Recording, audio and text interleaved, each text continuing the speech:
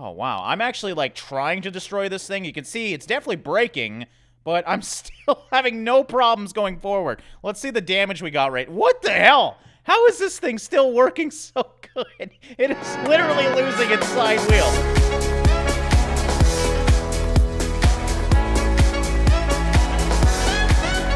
What is going beautiful people? Drae here, and welcome back to the best Besiege creations. This week, we are starting off with the hot dog tank, as I like to call it. But no, this is actually a fuel tank attached to a tank track, basically. And as you would expect with a fuel tank, you can press a button and it explodes. So, I was supposed to do that. You're not supposed to break under your own weight. Damn it! What the... Well, maybe we don't need the fuel tank today then, because this whole thing fell over. It's actually kind of beautiful how it's slowly falling apart, though, so I kind of like this. We can compare with the slow destruction with the big one. Anyways, you know what? Let's actually go nice and close anyways and see if we can just help it out at the end here. I don't even think we're going to get there in time because this thing is rapidly falling down. Gotta say, it's nice to have a destructible environment that doesn't totally lag this game because we can actually go at a decent frame rate. But yeah, we're just to, there we go, explode the actual tank and help out a little bit. Obviously, that's not the goal, though. Let's try and actually take this thing down. So yes, welcome ladies and gentlemen to Spiderling Studios. This is the developer of Besiege, if you are curious. And uh, yeah, I'm assuming this is their studio anyways. I mean, they got the Besiege statues everywhere. It actually is a really nice building here. Very basic, which is nice because, uh, like I said, you don't have the lag you have to deal with. Now, are we going to be able to get this thing inside? Oh man, this is going to be a... No, I don't think we're going to be able to. Maybe we could push it around a little bit. We might have to blow it at the front door, though, and if I unless I can actually... No, I can't get through here. Okay, well, this is still a good spot, and it's already crumbling because I was pushing it a little bit. So let's help it out and explode this thing. There we go. And please tell me you can actually destroy this thing now. Uh, sorry about that zooming, guys. I didn't. I don't know why that happened. But yeah, watch this thing stay up now when it fell under its own weight before, because I'm thinking it actually... Oh, nope, there we go. Okay, so we did have a little bit of a blast radius up top, and that's going to make it crumble once again. Gotta be honest, I was hoping for a bit more of destruction with that uh, fuel tank, but it's a fuel tank. It's not a bomb, so I guess that's to be expected. And actually, is it constantly on fire? I mean, that would be smart if they designed it that way, where there's constantly fire coming out of the fuel tank after the explosion. We actually did less damage, though, as you can see. There is still a lot of this building left.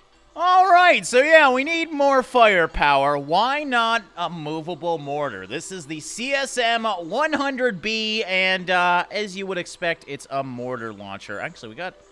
What is going on here? We got... Looks like... I'm not sure what those are up top, but yeah, I haven't actually used this yet, so we're going to learn with about it together. And uh, F for camera here. What? Oh. Oh, it actually has an aiming camera.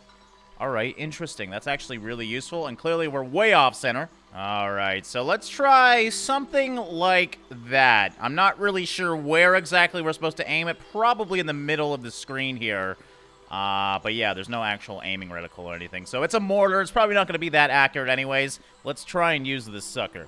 Okay, so we got to turn on that bottom steam cannon. We got steam coming through it now. I love the look of this thing. It just looks so old school, and I don't know. I just really like the design of it. Uh, anyways, we're going to load up our first bomb here, and oh, look at that. So these things go sideways. That's actually a really smart way to do this. And, okay. what? Uh, can I, uh, what happened? Okay, obviously it exploded in the actual barrel. I like that the shrapnel is actually launching at the uh, building here and still destroying it. So I, I would say it's still a success, but not as intended. All right, let's retry that again. So we're going to turn this thing on and uh, see if we can actually launch one this time. So we're going to try that again and hold it down. I really like the way it actually loads it up. There we go. That's looking a lot better. Now we just got to wait. Are we actually... We're not totally aimed up this time, but we'll see kind of how far this thing shoots. Wow, it's actually... It's getting a lot of airtime. Is this falling apart? Oh, come on! Don't do that! Where the hell did this bomb go, though? Unless the unless the bomb hit and didn't explode, that wouldn't make sense. The bomb would definitely explode. Oh, there it is! Holy crap, that's a perfect hit! Oh my god, that had such long airtime. Like, god, I didn't expect that at all. Alright, let's just launch bombs like crazy then. So we're just gonna hopefully not explode this thing and slowly launch the bombs here. There goes that one. So far, so good. We're not exploding, so that's good. There goes another. Damn it! All right, well, it's totally destroyed anyways. We should have some bombs coming here soon. I like this thing, you know? You, you don't know if it's going to actually hit the target or explode yourself. It's kind of like a Russian roulette game with a very dangerous weapon. Uh, but yeah, still really fun to use. I want to see how those top bombs work. Oh, here comes the bomb. A little bit off-center that time. We should have another one slowly coming in after that. If we could hit the top of it, that would be amazing because we got a lot of rubble here. Mm, wow. They, I, I shot the bomb, like, directly after this one, yet it's still... I don't see it anywhere, so maybe it just stayed up in the sky. That or we totally missed it. Regardless, it did its job. We had a direct hit, and it destroyed the place. I was hoping for a little bit more of reliability, but like I said, it's kind of fun with how dangerous it is. So yeah, I can actually drop these grenades. Now, these won't explode, which is pretty cool, and it looks like hopefully they'll slowly roll down. Yeah, we got two going out. Uh, oh, I actually got to open up the other one, too. So you open up both of these. That's actually cool. And we can explode these whenever we want. So we'll let these guys go first, uh, just because I want to try out those as well. And we'll see how many bombs we can... Wait, what? Wait, what? Why are they not going far? We got, we got the building breaking again. That one went a, de a decent amount of ways, but uh, clearly not as far as the bombs at all. So like, we don't have to do it anyways because it already, it's already totally destroyed, but I'm trying to drop a bomb down just for fun. And I guess, you know what? Let's just end this thing's misery because it's clearly not very good at throwing grenades. So I'm just going to go over here as the uh, building crumbles at my distance. I don't think we hit it at all with, with, a, with a grenade, but we'll see here. We shot six of them. I'm seeing four right here. But here we go. Oh, wow, there was actually one over there. We had a couple that actually made it. There comes the bomb, too. Good timing, bomb. Ah, oh, okay. I was really hoping this building would be a little bit more stable because it's kind of frustrating that it destroys under its own weight from time to time. But hey, that was fun. We had some pretty cool weapons there and a non-laggy building, which is nice. All right, and would you check it out, guys? We got the mega ramp from BeamNG. Like, this is legit. We even got the pool that we can land in and the distance uh, calculator here. Now, I've never really been impressed with flying physics in Besiege, or should I say jumping physics, because the planes feel good, but jumping has never felt well. So I really hope this one can feel good. It really depends on the modded vehicle as well because the physics on vehicles could be totally crazy. But we'll see how what kind of air we can get here. I like that the indicator is pretty obvious here. Yeah, as you can see, it's just compared to like wow, wow, we split that thing directly in half. But compared to like beam BeamNG, you just don't get the distance and it doesn't feel accurate when you're jumping with cars. I mean, we went 50 meters there. Uh, let's see if we can do a little bit better than that. We got a few other vehicles here that are obviously a little faster than a Toyota 86. All right, something with a little more pep in its step. Let's see if we can uh, launch this thing. Obviously, I'd like to make it to the pool. I don't think that's going to happen, though. Uh, oh, wow, we exploded ourselves on the on the actual ramp as well. Yeah, as you can see, like, this is the problem. I don't know what it is with the physics in Besiege. When it comes to car jumping, it just doesn't work. And I think it just comes down due to the modded amounts of the cars. They're just way too complex now in terms of physics, and uh, yeah, they don't actually get the accurate trajectory that you would expect. Uh, but maybe we can get one here that will do well. Oh, God. See, and the problem is the suspension can't deal with these jumps either. There's got to be something that has enough suspension to deal with this that's actually fast as well. This might be it. That felt great. Okay, there we go. Oh my god, it's like I'm flying right now. Yeah, the physics, obviously, of this car are pretty interesting to say the least. Oh, we kind of just floated down there. We made it to 120 at least. That was actually a decent jump. Still, nowhere near the end, though. Let's try one more good supercar for good luck. This is remarkably fast, too. So if it does not explode itself, I think we got a contender here for, yeah, definitely the farthest throw. I like that I can actually kind of control it in air, and you can tell the aerodynamics of the car, very similar to a plane. Uh, that one was by far the best, and that wasn't too bad at all. 230, that was actually a really decent jump, so I'm happy with that. The Type 23 was the champion of the jumping here. Let's just ride this off and crash it down, because that's always fun, too. Look at that. What, what a landing. Well, Marty McFly would be proud, guys, because we have the DeLorean time machine here that actually works. We can go back in time, guys. This is this is legit. I gotta say, when it comes to the detail, too, this is actually amazing. Specifically, this is a replica of the time machine DeLorean at the end of the first movie and the beginning of the second. So I guess there was different ones. I don't know. I'm not a not a huge Back to the Future fan, but uh, I have watched it a couple times. Uh, but yeah, Legendary vehicle that is now in Besiege. We've seen a couple before, but nothing as detailed as this. So let's see how it actually drives here. Well, actually, we should probably close the doors first. That would be smart. So, uh, yeah, you can actually close the doors one at a time, or you can close both of them at the same time. Never mind, I lied. Why isn't it working? Oh, that's because I was pressing the wrong button. I'm smart. Okay, there we go. But yes, we have the doors closed now, and I do love the whole Lamborghini-style doors. I mean, it is a DeLorean after all. Gotta say, Handling already, I can tell, is not so good, but I don't think a DeLorean's gonna handle good. Uh, but yeah, the whole point is can we get this thing up to 88 miles per hour? We're going 134 kilometers an hour here. Actually, my velocity meter doesn't actually have miles per hour on it. So uh, I know probably we're going at least 88 now, going 146. So we should be time traveling right now. Now, the developer says all you need to do to time travel is press space. So we're going to do that.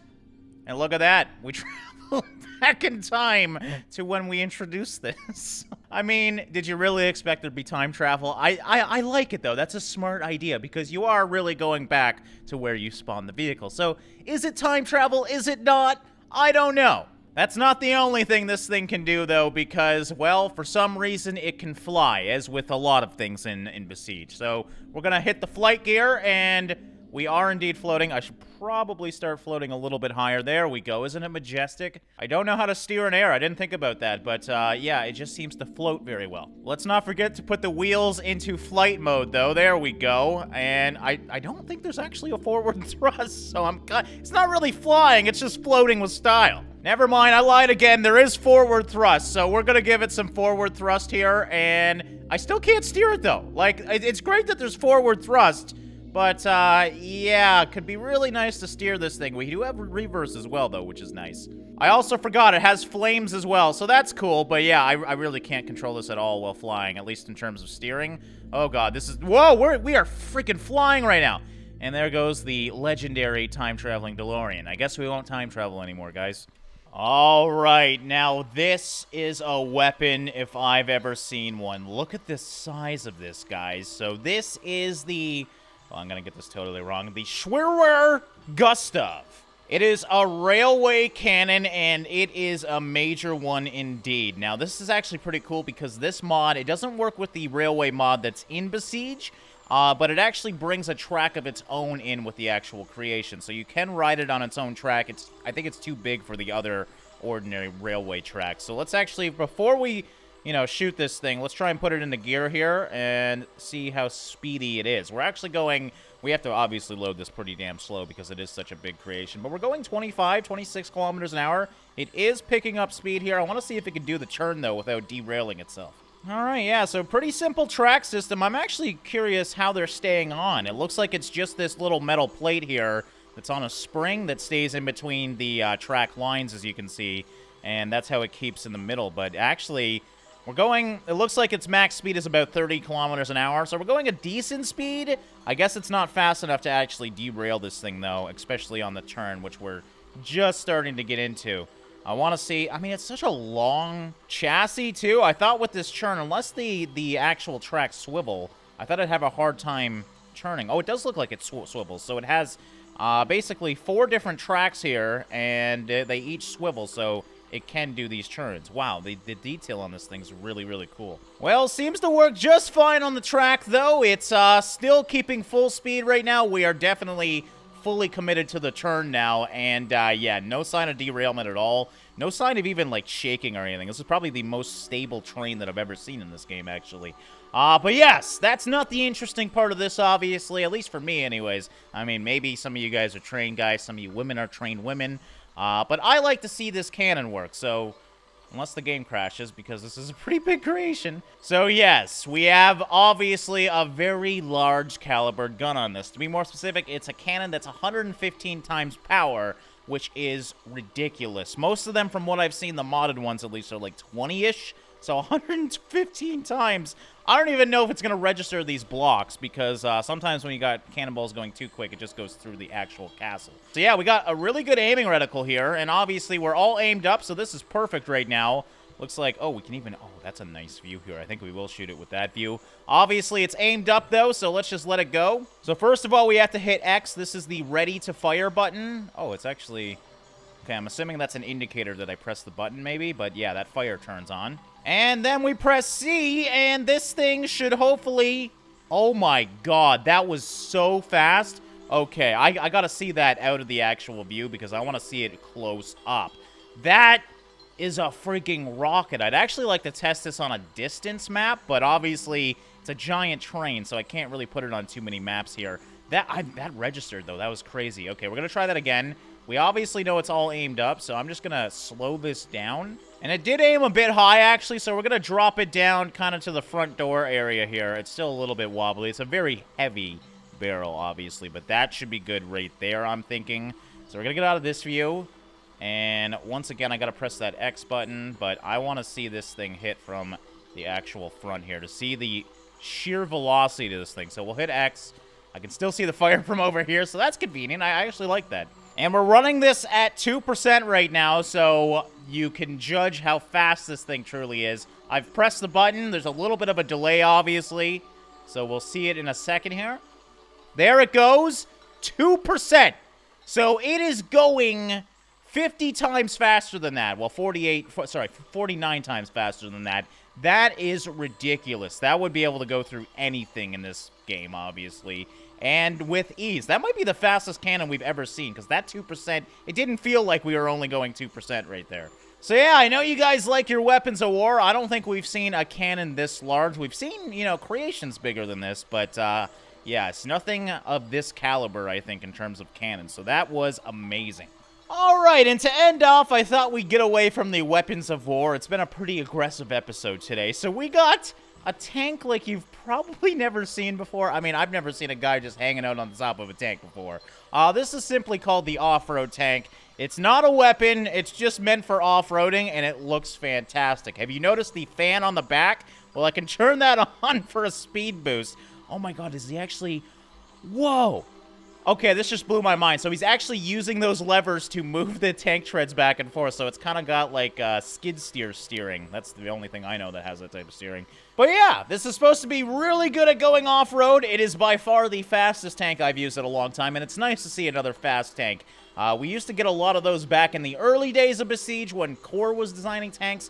Uh, since she has stopped designing, really very few people have focused on fast-paced tanks, which are by far the funnest things to play with in Besiege. So let's see. I've boosted it. Dude, this is amazing. Like, I haven't had very many things go up this hill. I'm not in invin invincibility either, so this tank tread is remarkable. I gotta give you props, Arsheelan. This is the designer of this tank, because I've never seen you before. I just lost my head. But you just made an amazing tank. This is so fun to use. I'm so excited to play more with this now. How fast can we go with this thing? Let's uh, get it in a straight line. It's looking about 85 kilometers an hour. With treads, that is ridiculous. We are kind of drifting in a tank right now. It's kind of blowing me away. It also has cameras for that added realism here. Oh, wow, this is actually a really nice camera, too. We got, actually, it looks like it's just that one camera. It's head cameras with plural, but I guess it's only one. I want to see if we can get some air here. So I boosted on my, my fan. Let's see. Ooh, this is going to be a hard hit. Ooh, ooh. It's still really heavy, so yeah, you can't really seem to get air very well. Oh, wow. I'm actually, like, trying to destroy this thing. You can see it's definitely breaking, but I'm still having no problems going forward. Let's see the damage we got right. What the hell? How is this thing still working so good? It is literally losing its side wheels. But hey, we're still having fun. All right, guys, so I'm gonna... there goes my engine. I'm gonna have to play some more with this one. I, am gonna have to put it through some of the testing courses later because uh, I didn't expect this to be so fun. I thought we would just end off with a little basic creation, but hey, this might be the star of the episode here. So yeah, I hope you guys enjoyed this episode of Besiege. As always, if you don't want to download any of these creations, uh, links will be in the description where you can do so. Thank you guys so much for all your support. I hope you guys don't mind the lacking amount of Besiege episodes. I'm still going to try and get them out, but we're only going to release them now when there's awesome creations to showcase, like these ones in this today's episode. So yeah, thanks for watching and liking, guys, and I'll see you in the next one.